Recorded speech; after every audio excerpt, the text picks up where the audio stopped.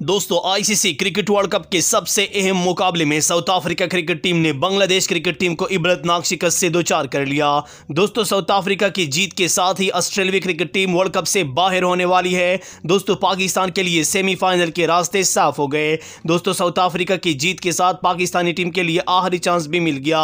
दोस्तों, किस तरह अब पाकिस्तानी टीम सेमीफाइनल के लिए क्वालिफाई कर सकती है? आईसीसी क्रिकेट वर्ल्ड कप की ताज़ा तरीन पॉइंट्स टेबल पर कौन सी चार टीमें सेमीफाइनल के लिए जाएगी? पूरी वीडियो आपके साथ शेयर करने वाले हैं। लेकिन अगर आपने अभी तक हमारा यूट्यूब चैनल सब्सक्राइब नहीं किया है तो हमारा यूट्यूब चैनल सब्सक्राइब कीजिए और इस वीडियो को लाइक कीजिए। दोस्तों आईसीसी क्रिकेट वर्ल्ड कप के सबसे अहम तरीन मुकाबले में साउथ अफ्रीका क्रिकेट टीम ने बांग्लादेश को शिकस्त दे दी। दोस्तों बांग्लादेश की शिकस्त और साउथ अफ्रीका की टीम के जीत के साथ ही पाकिस्तान के लिए रास्ते साफ़ हो गए। दोस्तों, अब यूँ लगता है कि Australia cricket team world cup से बाहर हो जाएगी, जबकि Pakistan cricket team world cup के सेमीफाइनल के लिए क्वालिफाई कर जाएगी। दोस्तों आईसीसी ने वर्ल्ड कप की ताज़ा तरीन पॉइंट्स टेबल जारी कर दी। दोस्तों आईसीसी क्रिकेट वर्ल्ड कप की ताज़ा तरीन पॉइंट्स टेबल पर भारत की टीम ने पाँच मैच खेले, पाँचों में कामयाबी हासिल की है, जबकि भारत ने अब तक कोई मैच नहीं हारा। दोस्तों, भारत के दस पॉइंट्स है। दोस्तों, अगर भारत क्रिकेट टीम एक मैच और भी जीत जाता है तो वो आईसीसी क्रिकेट वर्ल्ड कप के सेमीफाइनल के लिए क्वालिफाई कर जाएगा। दोस्तों, दूसरे नंबर पर न्यूजीलैंड क्रिकेट टीम मौजूद है। दोस्तों न्यूजीलैंड क्रिकेट टीम ने अब तक पाँच मैच खेले हैं, चार में कामयाबी हासिल की, जबकि एक मैच में न्यूजीलैंड को शिकस्त हुई है। न्यूजीलैंड के पॉइंट आठ है। दोस्तों, न्यूजीलैंड क्रिकेट टीम को बकिया चार मैचेस में से दो जीतने होंगे। उसके बाद न्यूजीलैंड क्रिकेट टीम भी आईसीसी क्रिकेट वर्ल्ड कप के सेमीफाइनल के लिए क्वालिफाई कर जाएगा।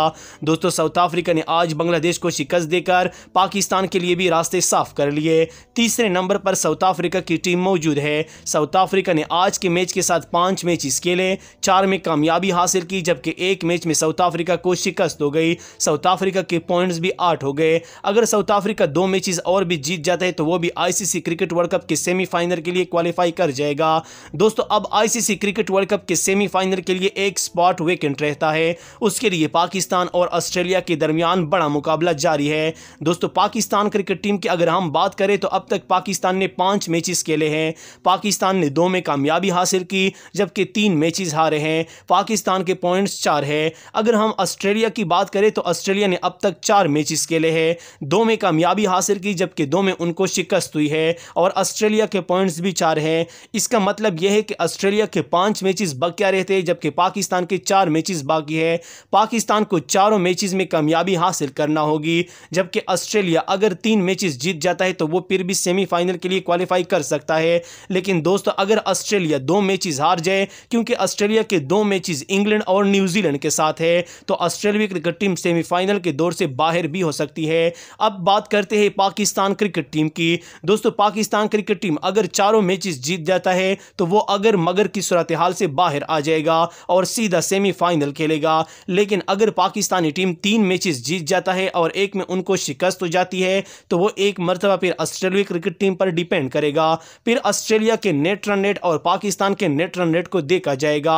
जिस टीम की नेट रन रेट बेहतर होगी, वो टीम ही सेमीफाइनल खेलेगी। दोस्तों, अगर हम अफ़गानिस्तान क्रिकेट टीम की बात करें तो अफ़गानिस्तान ने अब तक पाँच मैचेस खेले हैं। दो में कामयाबी हासिल की, जबकि तीन मैचेस में उनको शिकस्त हुई है। यानी अफ़गानिस्तान और पाकिस्तान के पॉइंट्स अब तक बराबर है, लेकिन पाकिस्तान की नेट रन रेट अफ़गानिस्तान से बेहतर है। इसलिए पाकिस्तान पॉइंट्स टेबल पर पाँचवें नंबर पर मौजूद है, जबकि अफ़गानिस्तान क्रिकेट टीम छठे नंबर पर मौजूद है। दोस्तों, अफ़गानिस्तान क्रिकेट टीम इतनी मज़बूत नहीं है कि वो सेमीफाइनल के लिए क्वालिफाई कर जाए।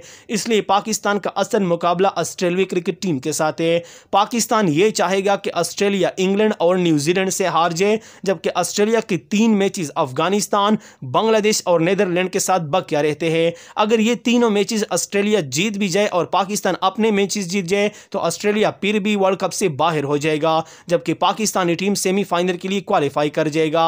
अब एक और सनेरियो की बात कर लेते हैं साउथ अफ्रीका और पाकिस्तान की। साउथ अफ्रीका ने आज का मैच जीत लिया। इसका मतलब ये हुआ कि साउथ अफ्रीका ने चार मैचेस जीत लिए अब साउथ अफ्रीका को अगर बकिया पाँच मैचेस में से तीन में भी शिकस्त हो गई तो साउथ अफ्रीका क्रिकेट टीम फिर भी सेमीफाइनल के दौर से बाहर हो जाएगी।